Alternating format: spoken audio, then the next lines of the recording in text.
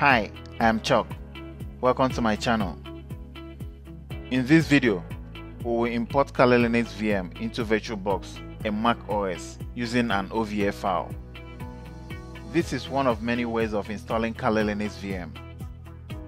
If you don't want to use OVA file, you can use ISO image to install Kali Linux VM. Whether you use OVA or ISO file for the installation, the end result is the same. I have another video where I demonstrated how to install Kali Linux VM using ISO file. I'll add the link to the description section. It takes less time to install Kali Linux VM using OVA file than with ISO file. Kali Linux comes preloaded with many security tools for pen testing and digital forensics.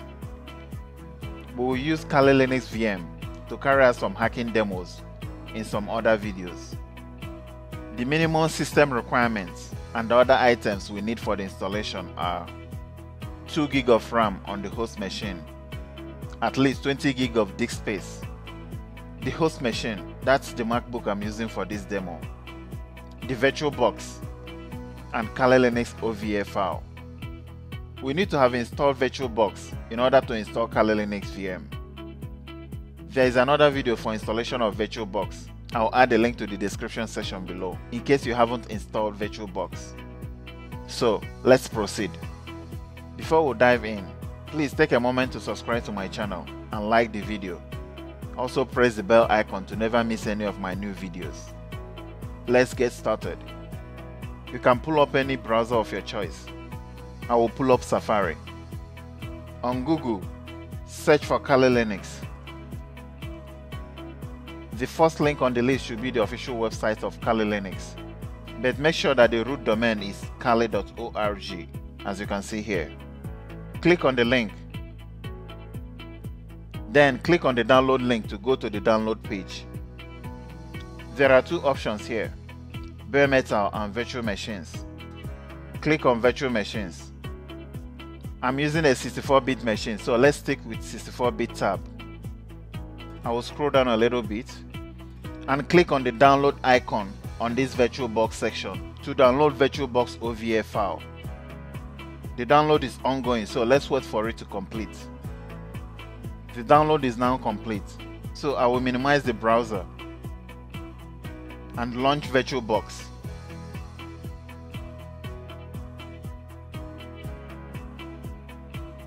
As you can see on the left, I have an existing Kali Linux VM, but we are going to import another one. In your own virtual box, you may not see anything on this left. To import another Kali Linux VM, I will click on the 2 on the top left corner here, and then click on Import button. On the Appliance Import page, go to File section and click on the File icon. Navigate to the folder where you have the OVA file. For me, it's in my download folder, and I will double click on the OVA file. I will hit the Continue button on this page, you can click on any field of your choice and modify the value. For example, I can double click on the name value and modify the name.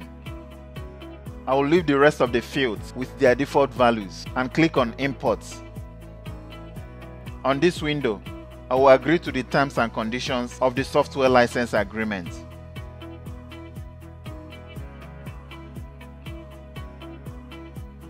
Let's wait for the import to complete.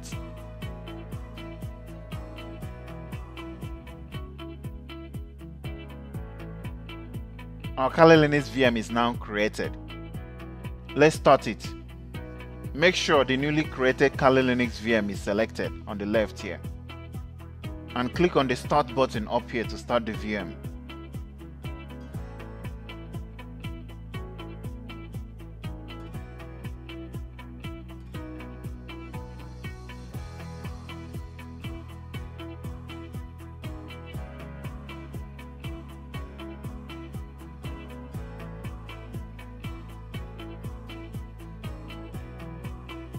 I will drag the window to the middle and close these banners.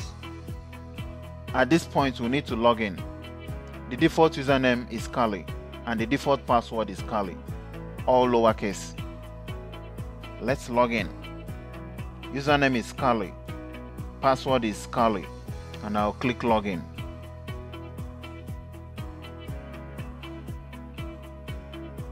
To expand the window, you can go to view menu and select full screen mode and click on the switch button.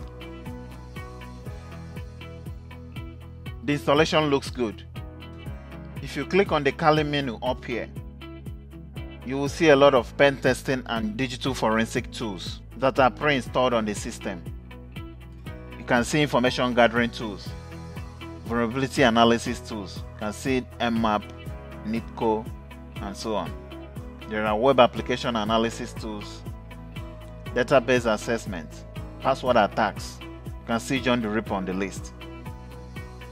Wireless attacks, reverse engineering, exploitation tools, sniffing and spoofing tools. You can see Wireshark on the list. Post exploitation, forensic tools, reporting tools, and so on. Let's do basic checks to make sure the VM is properly connected to the network. I will pull up terminal. I will enter the password Kali. I will zoom in a little bit and I will expand the window. Let's verify the IP address acquired by the Kali Linux VM. The VM acquired private IP address 10.0.2.15. The IP address of the host machine is 192.168.2.24. Let's make sure we can ping it.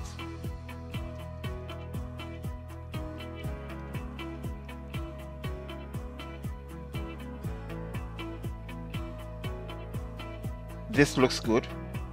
I'm going to stop the pinging. Let's also verify we can reach the internet. I will ping youtube.com.